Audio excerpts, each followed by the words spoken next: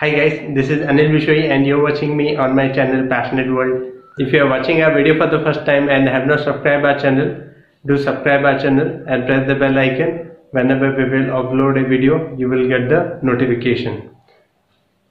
Friends, we have discussed about India and US relationship in our previous video. Since India and US relationship is very large one, I have decided to make it on three or four part because there are various issues that uh, India is having with US.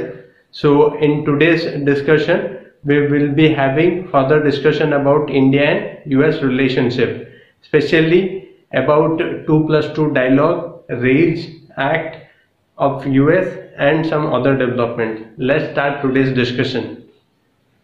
Recent development India-US have established a new 2 plus 2 ministerial dialogue to enhance strategic coordination between them and maintaining peace and stability in Indo-Pacific region. India and US have decided that 2 plus 2 dialogue will take place. 2 plus 2 means Indian counterpart is defense minister and external affairs minister and US counterpart is the Secretary of State and Defense Secretary. These people will sit down and discuss various issues concerning both the nations. Then, India and US strategic and commercial dialogue once described by the US Senate Department, State Department as signature mechanism for advancing the US and India's shared priorities will now be replaced by new dialogue. It will be now be replaced with the new dialogue. Composition. The new dialogue format will involve External Affairs Minister and Defense Minister from India's side and the American counterpart, Secretary of State and Defense Secretary. External Affairs Minister in our side it is Subramanya Jaishankar. Second one is our Defense Minister Rajnath Singh. Then Secretary of State in US side, it is Mike Pompeo. And Defense Secretary, it is homework for you. You let me know in the comment section who is the US Defense Secretary. The said priorities include job creation, improving the business and investment climate, sustaining rules-based global order. The US strategic consultations in this format with key partners and allies include Australia, Japan, Philippines. The US is having this kind of a format with its closest of allies and which are the allies with whom US is having this kind of a partnership that is Australia, Japan and Philippines. These are the three nations with with uh, US uh, they are having 2 plus 2 dialogue. Then India has had a dialogue in the 2 plus 2 format with Japan with secretaries of senior most bureaucrats from the foreign and defense ministries engaging with each other.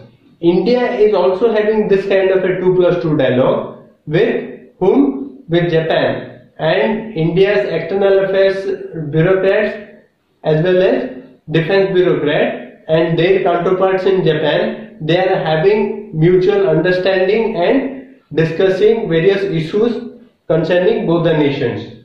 Then, RAISE Act. It is very very important RAISE Act, uh, recent development. President Donald Trump has announced his support for the reforming American immigration for strong employment. That is RAISE. Raising American Im um, immigration for strong employment. Raising American employment immigration for strong Employment Act that would cut the half the number of legal immigrants allowed into the US while moving to a merit based favoring English speaking skilled workers for residency cards.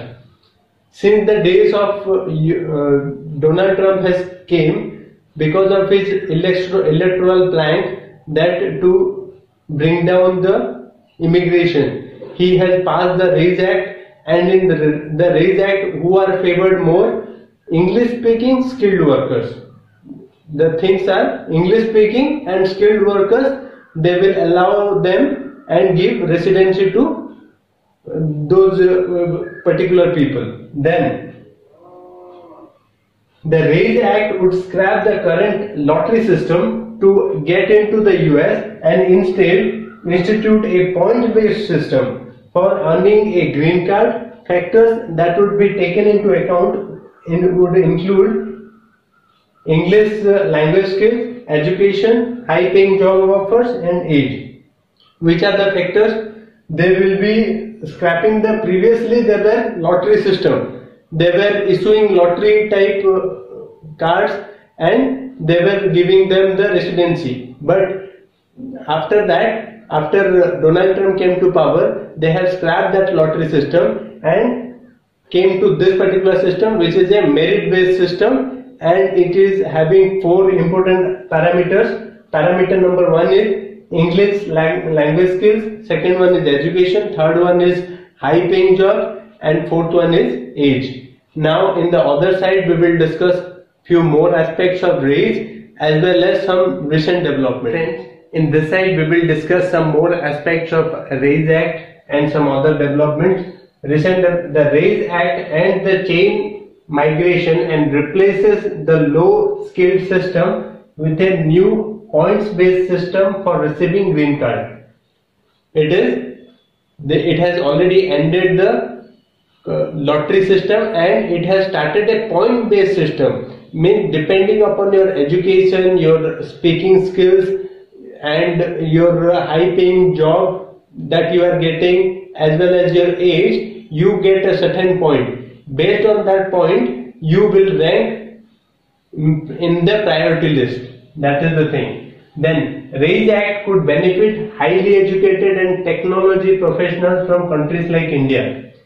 Most of our IT professionals they prefer this particular RAISE Act and even US US will also take the high skilled labor from technology side only generally though they will also take some other field like fine art and medical but that this is the thing which they will prefer more in the technology sector then US rolls out expedited entry for low risk Indian travelers.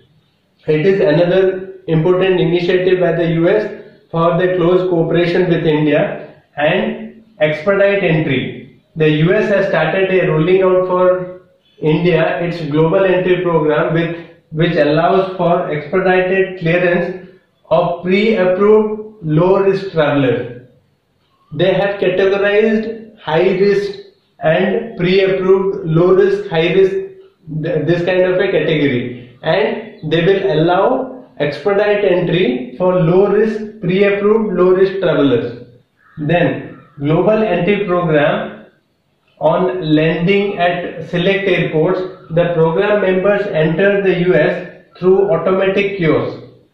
In this global entry program what will happen? There will be automatic kiosks and people will directly go. All those countries which are listed in this particular global entry program their citizens when they arrive in US they will directly queue in the global entry program then instead of queuing up to clear in the immigration by meeting an immigration officer apart from these countries whichever other country if the citizens will arrive in US airport they have to meet directly to the immigration officer.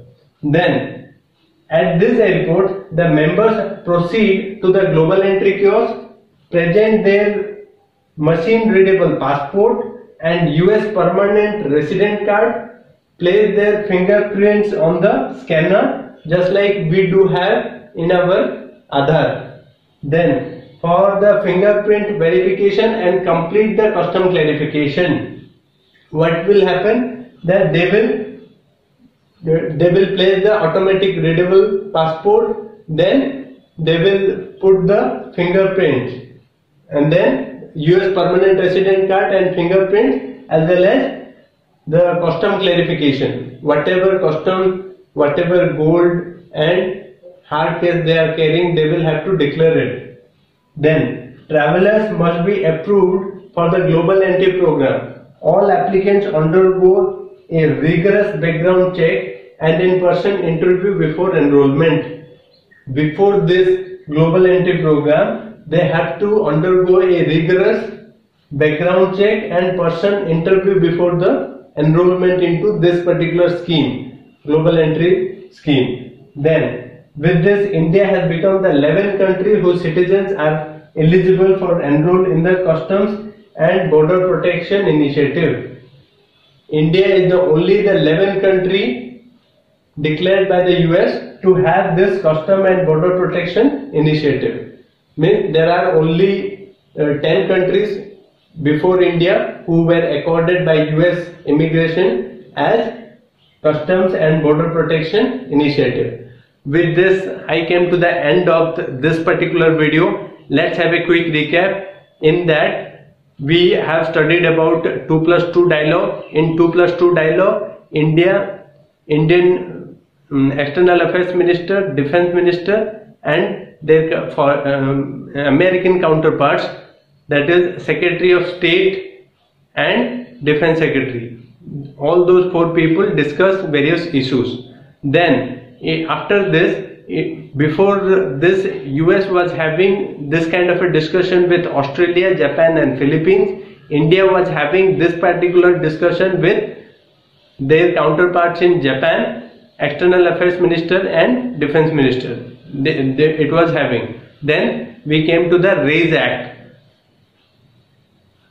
RAISE Act, we studied about what are the aspects in uh, uh, RAISE Act which will help the Indian uh, immigration system. They scrapped the old lottery system and went for a merit based uh, system in which English speaking skills, then education, then third one is a uh, third one is high paying job offers and fourth one is their age. These were the parameters and after that this global entry program. In the global entry program the people will directly have to undergo the global entry in the selected airports. And India became the 11th country in the world to get this particular status whose citizens will directly undergo this global entry program and they have to only directly go and place they will uh, they will give the fingerprints US passport and other uh, custom related declaration afterwards after that they will be proceed for uh, their uh, work. That is the thing. And I hope you like today's video. Do give me a thumbs up. And sir man if you are watching our video for the first time and have not subscribed our channel do subscribe our channel and thank you very much